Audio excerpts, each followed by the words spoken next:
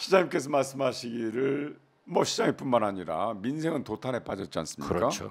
미국 금리가 그러니까 우리도 어쩔 수 없이 올려야 되는 지경에 빠지고 그럼 고금리로 인한 인플레가 또 일어나고 물가. 난방비 2월 달에 더 나올 것이고 근데 맨 문재인 정부 탓하고 그래서 국힘당은 이걸 개선하려고 주도를 해야 되는데 아수라장이고 그러니까 윤석열 대통령의 지지율이 지난주에 비해서 아주 폭락했어요.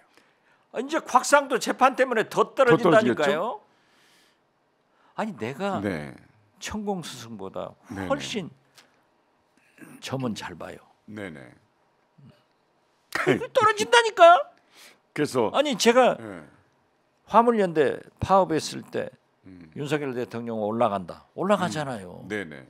이번 박상도 아들 무죄는 모든 국민이 그래서 이건 아니야. 화물연대 파업 그 실체가 나중에 드러나잖아요. 그렇죠. 예. 강하게 이미지를 보인다고 해서 무조건 올라가는 게 아니라는 걸 깨달아야 돼요. 아니 그러니까 네. 삼 3대 개혁도 민주노총, 전교조, 최저임금, 주 그냥- 52시간 네. 이 문제의 개혁을 민주당이 주도적으로 야 네. 삼당이 국회에서 해라 하는데 아직 안 하고 있는데 이재명 대표한테 음. 다시 한번 제가 얘기하려고 그래요. 고문 고문은 아시죠 아직은?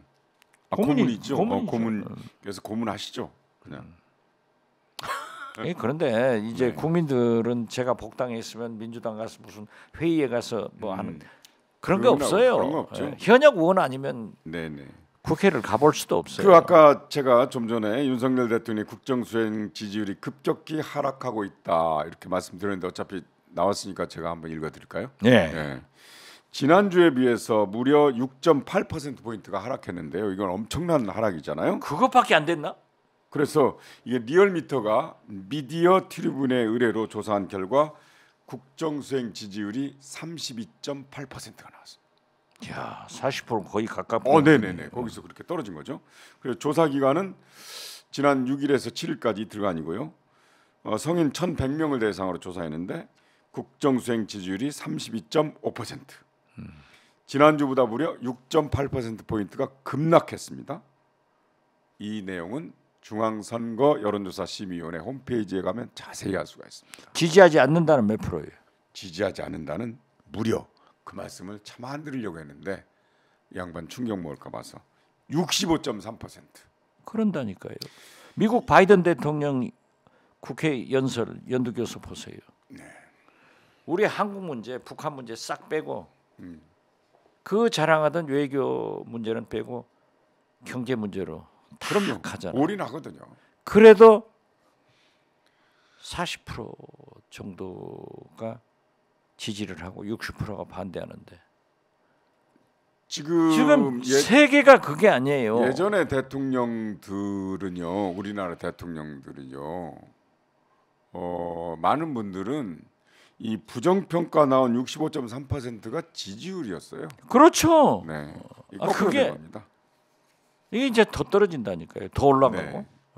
아 보니까 나는 4월 달에 지금 윤석열 대통령이 미국 국빈 방문이 예정돼 있어요.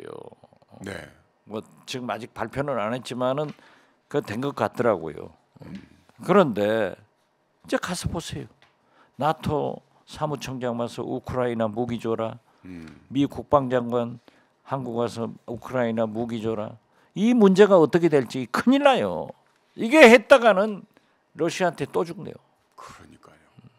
그나저나, 자, 푸틴도 보세요. 네, 재정 적자가 31조가 났더라고요. 그러니까.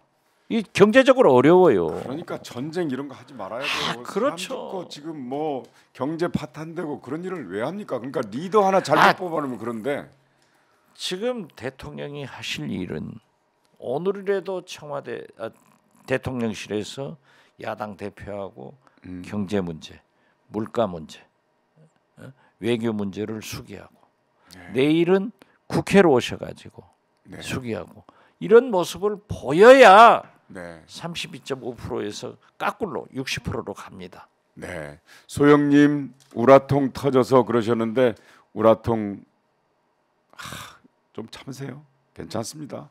아 좋은 나라 되겠죠 뭐. 아 저도 이렇게 칭찬하는 댓글도 있네요. 울창한 소나무라는 분이 성경환 명앵커님 현역으로 복귀하시길 응원합니다. 아 저도요.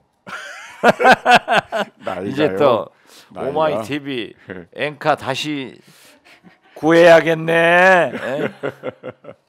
시장님 어차피 이제 그 미국 얘기가 그러는데 시장님께서 계속 기대하시던 블링턴 미국 국무장관이 중국 방문 무산됐습니다. 그렇죠. 이 풍선 하나 때문에 그런데 도대체 그 풍선이 뭡니까? 아니 거기에 이제 오늘 아침에도 그 분석 기사가 나왔던데요. 그 네, 정찰용이다. 네, 어떻게 됐든요. 네. 중국이 남은 나라 영공을 침범해서 풍선을 민간 거건 누구 거건 미국으로 보낸 것은 그 다섯 개나 된대요. 이건 잘못이에요. 일부러 그러니까 안 했다는데요? 미국은 어떻게 됐든 네네. 미국은 네, 격추시킬 당연히 격추시켜야 되고. 의무가 있는 거예요. 네, 네, 네. 미국이 잘한 거예요. 네. 자, 우리나라는 그렇게 안보 안보 뭐뭐 어제 무슨 회의하면서 무슨 평화? 네. 이런 그것도 문재인 얘기를 탓 하더라고요. 다 그때, 탓했더라고요. 그때 훈련 안 했다. 아니 그러면 무인기가 다섯 대 들어와서 뺑뺑뺑 돌아다니면서 대통령실 찍어갔는데도 전투기까지 동원해. 전투기 우리 전투기가 떨어져. 버렸잖아요. 어? 이건 잘못한 거 아니에요? 네. 국방은 그렇게 하는 거예요. 이것마저도 보수 정권인 윤석열 대통령이 실망을 주게 하면서 음. 지금 보세요. 왜 김정은이 딸 주애를 데리고 그렇게 demonstration을 하는지 아세요? 그게 무슨 뭐 김여정하고 이설주 알력이다. 음. 후계자를 뭐 김주애 한다 그거 아니에요. 어? 그것은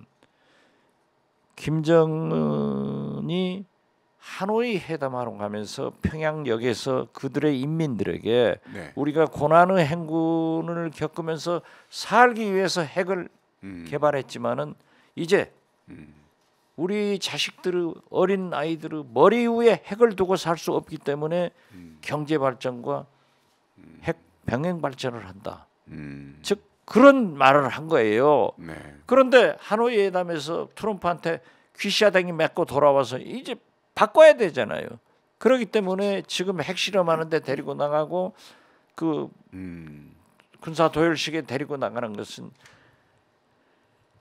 이 자식들을 위해서 음. 우리가 핵을 더 개발해야 되고 구- 군사를 강화해야 된다. 이런 메시지를 주는 거예요. 잘못 분석했다고 또 고발하면 그건 확인할 길이 없습니다. 글쎄요. 어떻게 됐든 여러 가지 어쨌든, 분석이 있는데 네. 아니 미국이 잘한 거예요. 나는 네, 그렇게 봐요. 거죠. 저도 그렇게 생각합니다.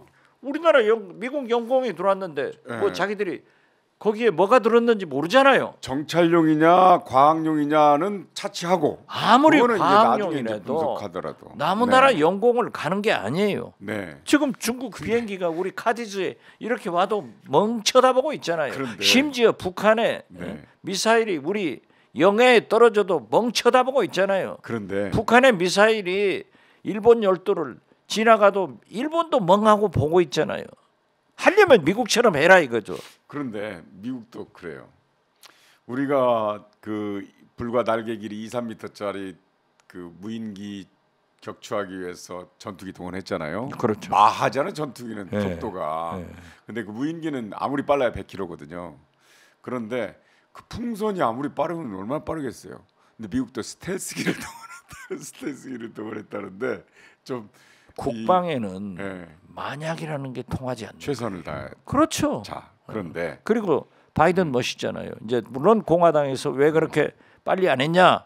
트럼프 하니까는- 때도 했다는데요. 예, 트럼프가 그러니까 그게 만약에 우리가 워칭을 주시하고 있는데 잘못 떨어지면 민가에 피해가 피해가 생긴다. 자네가 예, 네. 그러니까 바다로 날아가는 것을 계속 보고, 보고 있어가지고 딱 격추시켜 버리잖아요. 네, 바이든 잘해. 네 그런 것은 잘해. 날리면 아, 아, 참, 정정하 잘못했습니다. 예.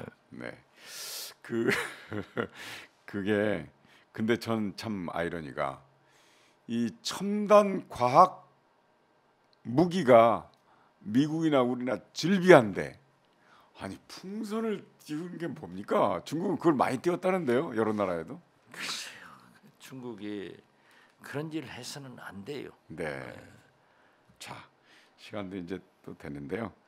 한덕수 총리의 뉴스가 거의 없었는데 엊그제 국회에서 한 발언이 드디어 뉴스가 돼서 뉴스에서 한덕수 총리의 뉴스를 봤습니다. 뭐라고 하셨냐면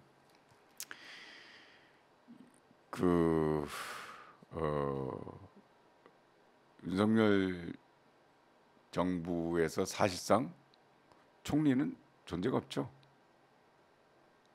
존재가 있기를 바랬어요. 처음에 오늘 실수 많이 하시네. 아, 그렇습니까?